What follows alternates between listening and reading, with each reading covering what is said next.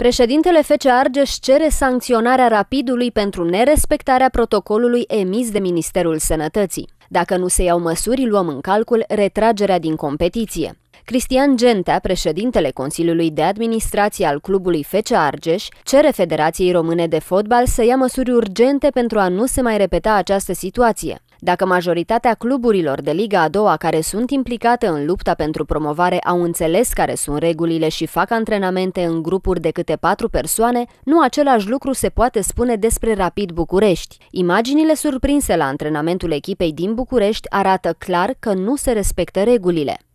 Noi am participat la toate videoconferințe organizate de FRF, am stabilit uh, sistemul de urmat, am uh, fost de acord cu protocolul uh, care este în vigoare și nu înțelegem de ce unii să respecte, alții nu. Deci, uh, dacă am stabilit că cele două săptămâni de zile, după ce facem testul pentru COVID, avem voie să facem, trebuie să-i ținem pe toți într-un hotel uh, în care nu mai intră nimeni.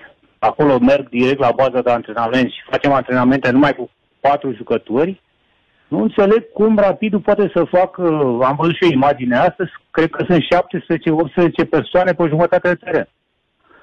Deci, o respectăm toți acest protocol, o ne vedem de treabă.